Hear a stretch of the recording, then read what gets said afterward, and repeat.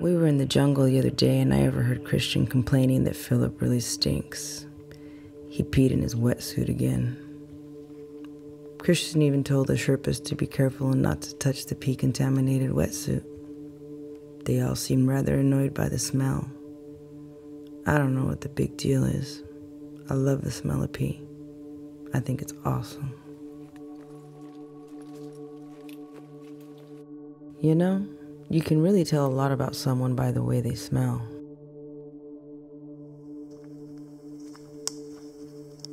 Yeah, wood. I really like wood, especially aged driftwood. It's just wonderful. We go to the beach a lot, but I don't really play much now. I'd rather just sit and watch Phillip and his friends surf.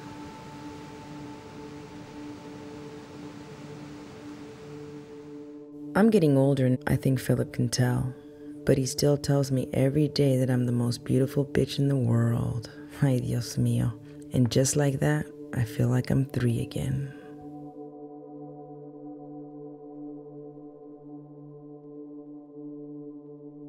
I was only two months old when I first moved here from LA. Ever since then, I've been in charge of things at Playa Encuentro. At first, I ruled with my cuteness and good looks.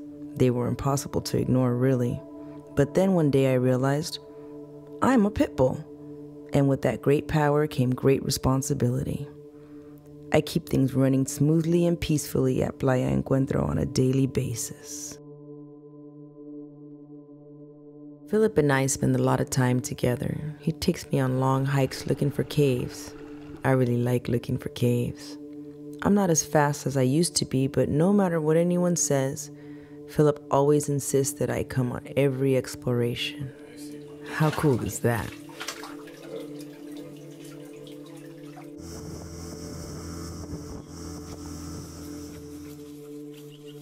I worry when Phillip is exploring. Sometimes he's gone for many, many hours. His friends call him crazy for diving in flooded caves, but from what Phillip tells me, it's the best. And also, the last remaining frontier of human exploration on Earth whatever that means.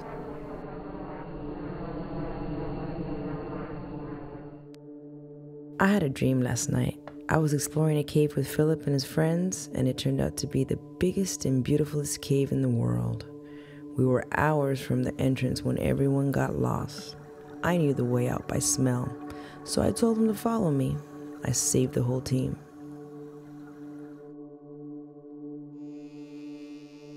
Sometimes Phillip shaves me, then he tells me I look like an armadillo. I don't understand what he means by that, but I don't mind. If Phillip likes it, I love it. And besides, I like the vibration of the clippers. It feels good on my fur.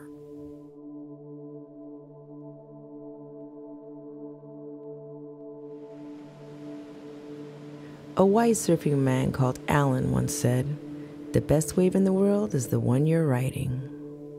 I am getting older, and I don't know how much time I have left. Now more than ever, all I want to do is share a wave with my best friend Phillip and ride that wave for as long as I can.